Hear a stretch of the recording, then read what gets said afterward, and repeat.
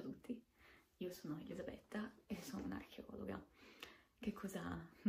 mi ha, mi ha portato a intraprendere questo percorso? Beh, diciamo che la mia è stata più una scelta dovuta a un colpo di fulmine dopo la maturità, quando ho iniziato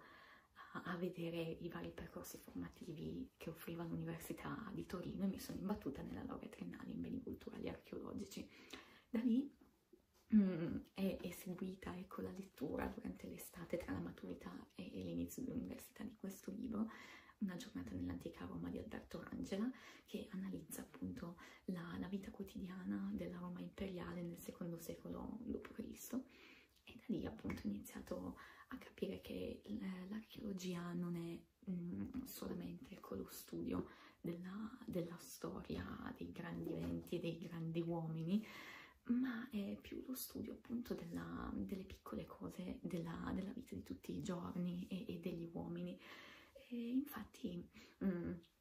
mm, ho mm, anche eh, soprattutto dopo aver letto quel libro sono andata per la prima volta nella mia vita a Roma e da lì diciamo che mi è scattato proprio l'amore per questa disciplina e infatti mi sono poi laureata nella triennale in beni culturali archeologici e nella magistrale in archeologia e storia antica sempre a Torino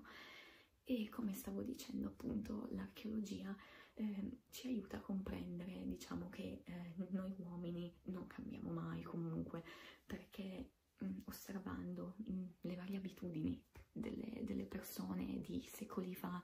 eh, che, che, possiamo trovare analizzando un frammento di piatto, un frammento o un bicchiere o un giochino che usava un bambino ad esempio del terzo secolo d.C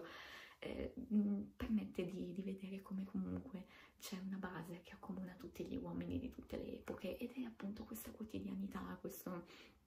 questa vita appunto fatta di mh, ad esempio mh, mangiare, eh, dormire, divertirsi, eh, fare, avere degli hobby, ecco che nonostante eh, i tempi comunque giustamente si evolvano e cambino, eh, certe necessità e eh, certi atteggiamenti umani non cambiano mai. E quindi ehm,